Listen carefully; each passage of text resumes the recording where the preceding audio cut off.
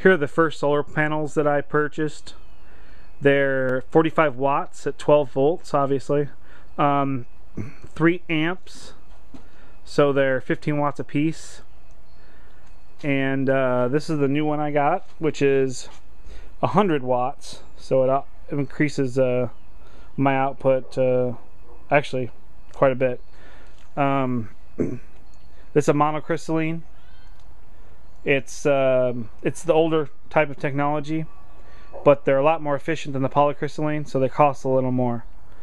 Um, but they're well worth it. I really enjoy it. Um, uh, and then I'll show you the regulator and everything.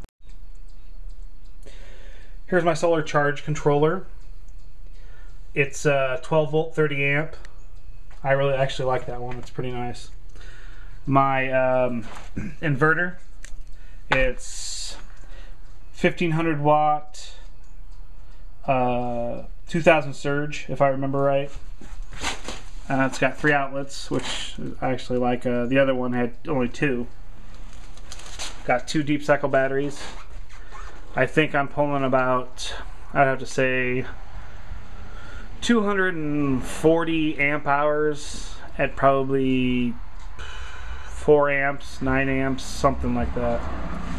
Then I got this, uh, this is what I charge everything on right now. And that's it.